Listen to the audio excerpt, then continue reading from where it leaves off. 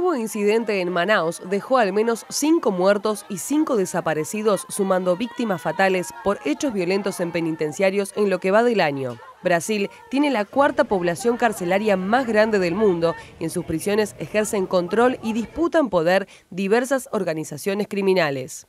Las autoridades denuncian que detrás de los últimos levantamientos estaría una disputa entre las bandas de drogas más grandes de Brasil.